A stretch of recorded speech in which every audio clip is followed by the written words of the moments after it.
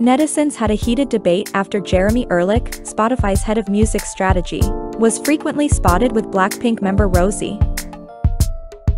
On one popular online community, one netizen created a post titled, Are Rosé and Spotify's CEO dating? Here, the netizen posted various photos where Blackpink's Rosé and Jeremy Erlich, Spotify's head of music strategy, were seen together. The photo where Jeremy and Rosé are seated together previously got a lot of attention, as it had been taken at singer Dua Lipa's concert. More photos showed the times when the two were seen attending public and private events together, raising curiosity on their relationship.